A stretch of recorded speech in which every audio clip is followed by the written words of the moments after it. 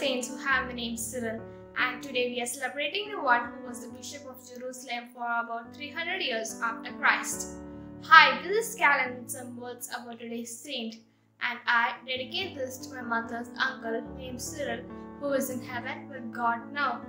Cyril was a theologian of the early church, and he was born on 313 AD in Jerusalem.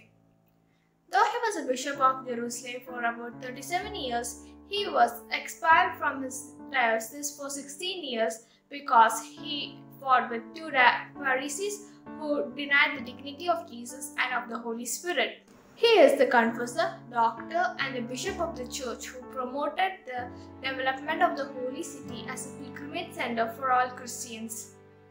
His famous 23 lectures were delivered to the candidates for baptism.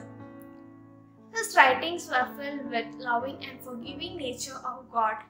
He died on 386 AD in Jerusalem.